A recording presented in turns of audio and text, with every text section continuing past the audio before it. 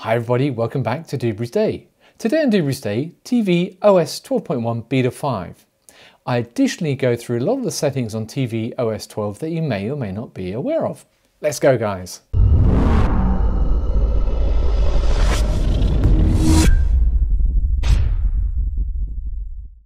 Okay guys, we've now updated to TV OS 12.1 Beta 5. There's only a minor update. Okay guys, I wanted to use this video, apart from updating to TV OS 12.1 Beta 5, but also show you some of the advanced techniques that you may not be aware about of TV OS uh, 12. So first things first, I've got a video up here, Beetlejuice, on offer at the moment. Go and get it guys, great film from the 80s. Um, when you play the video, there's a few things you can do to move forward and backwards into the video, which you may not be aware of. Let me show you those. So I'm just going to hit play, and then hit play and as you can see the video will start. Um, I will start from the beginning. I'll have my controller on screen here just so you can see it. Now the first thing you notice is that the video is playing. If I double click the right hand side here, it will go forward 10 seconds every single time. You may not be aware of that, but every single time I click on this, it goes forward 10 seconds. So you can see down here. The other really good thing about this is you can use Siri to go forward and backwards. So if I press and hold Siri and say go forward 10 minutes, you'll see what happens. Go forward 10 minutes. It then moves the video 10 minutes. And it'll play. And off it goes. So another thing you can do, go forward 30 minutes. It jumps straight along the timeline. Go to the start. Takes it right back to the beginning. So that's one of the first tips. The second tip is when you're playing in a video, um, if you scroll down from the top, on the videos on um, the iTunes store, you actually get all of the um, sections that you can jump to. So with any film uh, on the old DVDs, you used to be able to jump to certain sections of the film. And this one, you pull down, go to info, and scroll left or right and you can pick the section that you're interested in. So for example, section 8 on this film, it'll jump straight to that section when they have the big heads. Coming out there. So that's the first thing. Coming out of the videos, let's now talk about the settings under the settings section. Tip number two, settings. Let's step through these because people may not have gone through these. Um, general, about. First of all, it tells you the name that you've called your Apple TV. In this case, I've called it Home Cinema. The model number, I'm running a 64 gig. Oops, excuse me, come back up there. I'm running a 64 gig. The serial number, which I will blur out in the video. What version of tvOS we're running on here, I'm running on the 602A, which is the beta 5 of 12.1. The resolution we're currently tracking at, 2160p Ultra HD 50 Hertz. And that's really important for my camera here, so I have to make sure that the camera's set to 50 Hertz so I don't get the flickering. My IP address and my Ethernet address, and again I will blur a couple of things out. So that's how to get quick information about your Apple TV. Screensavers. Um, I've got mine set down to Aerial, but you can use your photo library or your home sharing or even your music library. So let's go into the photos. These are animals, flowers, landscapes, nature, and shot on the iPhone. So you can have these just scrolling past in the background. Next one's home sharing. Now if you've got home sharing, so in the home here, we've got a, a NAS and I had an iTunes library set up on the NAS, I can then connect to that and watch my films from there. Ah, okay, here we go. So this is interesting. So when you change your screensaver, so if we change it to say Apple Photos, come out of there and pick shot on iPhone, then go back a level, you'll show that these will change depending on which setting you've chosen. So at the moment I typically have uh, the Aerial screensavers, but if I've got um, photographs in this particular scenario, then you can change your transition from random cascade, flip up, floating down, etc. Let's do some origami as an example. Press menu button, menu button, menu button, and then you can show off your screensavers. And you can see it's now doing the origami flicking. So I wonder if we can flick to the next one. No, you can't. But it does show that it changes. We'll try the music in a moment. There we go. So these are all shot on iPhone. Another type of screensaver. Let's come out of there. Let's now go and try the music. Let's go into here, go to General, go to screensavers. We're going to change the type to music library. Come out one section, go to the menu button, start after five minutes. Now I want to start it after two minutes. And show music, I'll do a quick preview. And it shows me all of my music that I've got on there. So this is uh, music I've got in my library. So I'm subscribed to Apple Music. You've got Me and My Toothbrush, Baby Driver, blah, blah, blah. So it shows you your music. And I believe it would, should start playing as well. Maybe it just shows you. I'm not 100% certain on that. Maybe someone can tell me. Um, let's go back. I'm going to put that back to the aerial screensaver. So we've done Apple Photos, home sharing if you had it, I have not got that set up, and music library. So you can see different types of screensavers. Uh, come out of here. Uh, let's go next. Appearance, light or dark or automatic. So in dark, might better on my screen, you can see everything suddenly goes darker. So when you're in your main screen, everything's black in the background. It may be something you guys want to change. Going back, we'll change that. I'll leave it dark actually. Sleep after 15 minutes. So when will your Apple TV go into sleep mode? You can change that from 15 minutes to 10 hours or never. I leave mine on 15 minutes because I'm not always watching TV. Accessibility.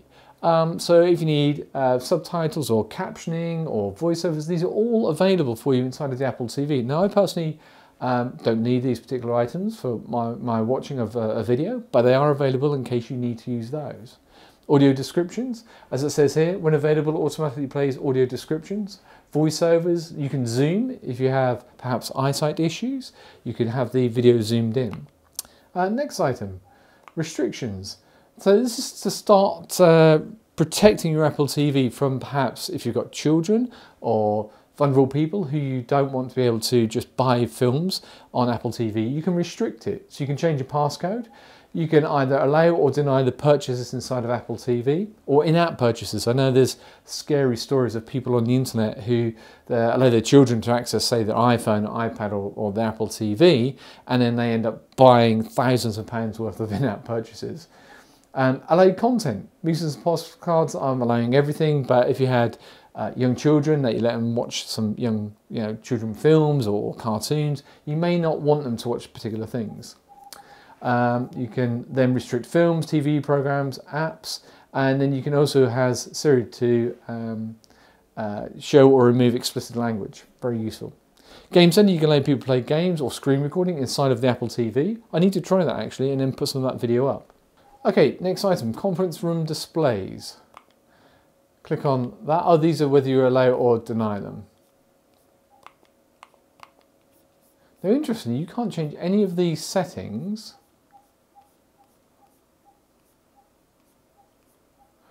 unless you return them on.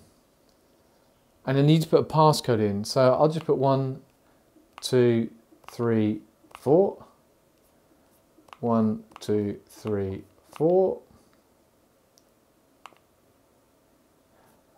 Now come down. I can now allow or restrict the settings, but you have to set that pin number first. Uh, conference room displays allow or reject those. Location services, that might be important to you, that you don't want people to know where you are. Okay, let me come out of here, let me turn this off. Uh, restrictions off, one, two, three, four. Uh, restrictions now off. Okay, so that's restrictions. Privacy. Location services are off. By default, you may choose to have location services off. It shows you uh, other people where you are, especially if you're doing YouTube videos. Photos. Let's go into photos. Apps I've requested to access your photos will appear here. So no apps I've requested to access my photos. HomeKit. Again, if you've got HomeKit and you're using it to control your lights or your sockets, you would come into here to look after that. Analytical data. You may or may not decide to share this information to Apple. I choose not to. Uh, limit ad tracking. So um, this is, allows Apple to provide targeted apps to you. Now you may want to limit that so you don't get lots of ads coming through. Coming out of here, Siri. Siri is on. Uh, Siri, Siri is in English. Um, you can change Siri to be Australian, Canadian or US. I'm in the UK, so I'm going to keep it as UK. Uh, dictation privacy, this will just tell you about it. Um, next one, keyboard and dictation. Previous used emails. So that's my email address. Um, it's not hidden, it's on the channel, so you can see that. But if if um, I'm filling in an email address on a website and I'm on the Apple TV, it'll pick it up automatically from here. Dictation is on, so it allows you to use Siri to dictate. Uh, this is all about um, dictation and privacy.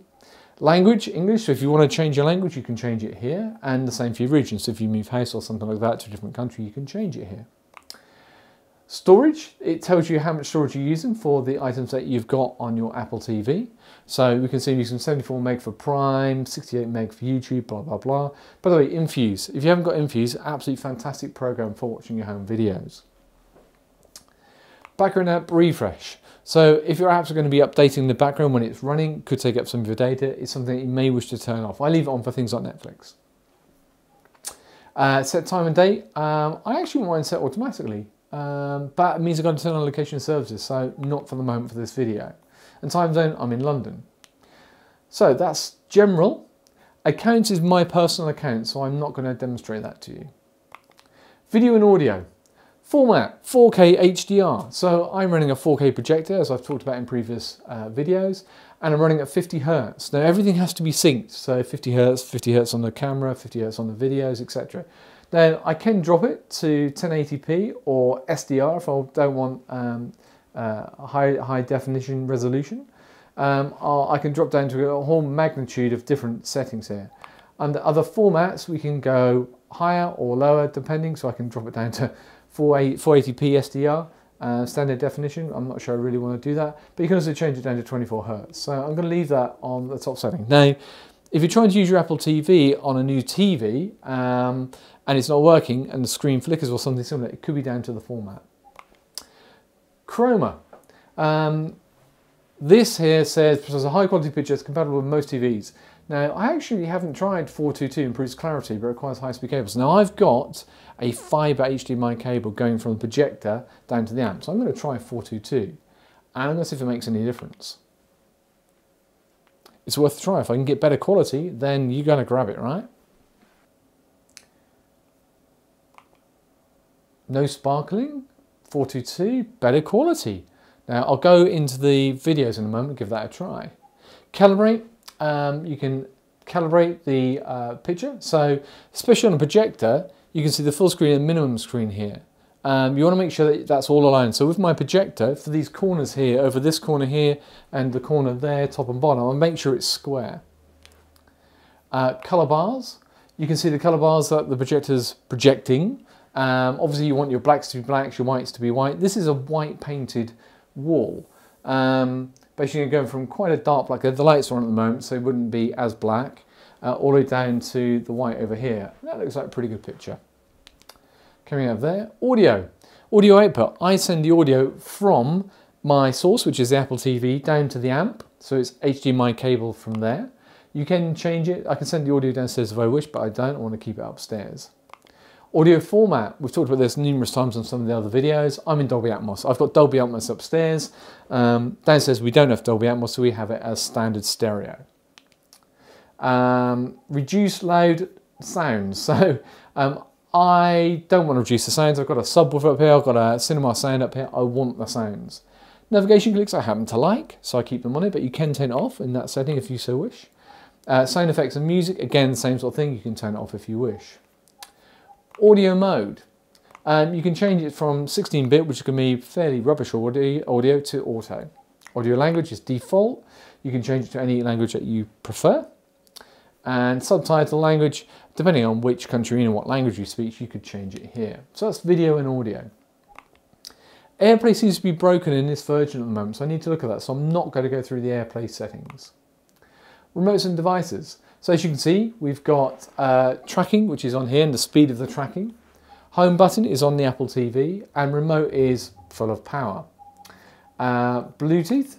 So if you're going to connect up Bluetooth devices, this is where you do it. So if some people have a Bluetooth um, soundbar, this is where you configure your Bluetooth soundbar. Remote apps and devices, as you can see, I've got my iPhones, uh, myself and Mrs. Doob's iPhone is floating around, so we could pair that or unpair it, and that might be part of the reason why I've got problems communicating with the Apple TV to project AirPlay to my TV. I need to figure out why. Learn remote, so if you uh, replace your remote or your remote dies, this is where you, you change it. Uh, home cinema control, control TVs and receivers. Um, I don't use these at the moment. I just use this just for volume. That's all I use it for. Um, I turn the amp on with uh, my amp controller and then I use the controller here for the sound. That seems to work really well for us. And volume control, as I said, is via the infrared. Applications. Uh, automatically update apps as you would on your iPhone or automatically install apps. I don't want to automatically install apps. I want to make the choice what apps I install. App settings, and there's a whole heap of things in here. So what I've done in my TV app is show all the new features and I've added into my TV the iPlayer, the ITV Hub, my 5 Prime Video, etc, etc. And it's really important to do this because when you then go to the TV app, which I'll show you in a, in a moment, it brings all of that content together into one place rather than jumping around between Netflix and Prime Video and ITV, it brings it all into one place. In fact, let me just jump there now. So I just go back to the TV app and show you. This is this icon here. Click on that and what you see, this shows you everything that we've just been watching, because we had Beetlejuice on a moment ago. If I scroll down, as you can see, you've got the BBC, uh, Best of BBC iPlayer, Best of ITV Hub, Best of My5, the news, Schools Out, and across here you've got things like Prime. These are all the items from Prime. Um, further down you've got all of the Apple Music. Um, this basically brings everything together in one place. So as I said, you've got Prime on there, You've got Apple TV. Um, uh, sorry, you've got uh, the BBC iPlayer. You've got your Apple uh, videos that you've purchased or Apple videos that they expect you to to buy from them. So uh, it's all in one place. So we've been watching Nightmare on Elm Street, for example, on iTunes. We've also been watching Killing Eve. Um, if you haven't seen it, by the way, go and check out Killing Eve, BBC iPlayer, absolutely fantastic. Um, and it shows you what you've been watching or what you're in the middle of watching. Hellboy is on iTunes. So iTunes is on here, iPlay is on here, Netflix is on here somewhere. Um, it brings all into one place. So again, another good option for you to look at. Now going back to the settings, under apps, this is the same now for all of these items. Each of these items, I wouldn't perceive to go through all of these with you, but each of the applications will give you settings that you can adjust for every single application you've got installed. So for example, just this will be the last one on here. iTunes, video resolution, I want the best available. Quick start, get the film going. Limit purchases and rentals to standard definition. No, thank you. I want a high definition. Sort films and wishes by date, or you can sort it by alphabetically, depending on what you want. I'll change it alphabetically. And sort TV programs. I'll sort those out alphabetically as well. Coming out of there, uh, network. Um, I'm connected on Ethernet. I'm using a standard uh, IP address, same subnet internally, 192.168 address range, and it's got my Ethernet, which I will obviously blur out. System, we've been in here many times. This is where you do your software update. There's the legal notices. And inside of what's new, tells you all the things we've been talking about. Dolby Atmos, uh, the aerials, the remote control on your phone and on your, um, your controller, and the passwords, which obviously you can type in there through your phone, and it will automatically add them to the Apple TV. Your recent restart is also there. And finally, Sleep Now. So that's all of the settings. As you can see, there's quite a lot of settings there. Um, a couple of other things I will show you. Um, if you double click the home button, uh, which is this button here, uh, it shows you what applications are running and you can scroll left or right. So everything that we've been opening, uh, they're already running. So I've got Netflix, Plex open, Apple Music open. So you don't have to keep going into the same thing every single time. So let's just double click on this home button. Scroll left to right. And then to get rid of them, I believe you just push it up like you do on your phone. So get rid of them and they're therefore not running anymore. Get rid of those, get rid of those, get rid of that, get rid of that, back to the home setting. So you can double click that button there. So guys, that is an overview of all of the extra pieces on Apple TV. Um, there's probably about 20 or 30 settings there at least that I've gone through. I hope you find that useful. Some of those you may or may not have known about. Please um, have a look. If you like this video, give me a thumbs up.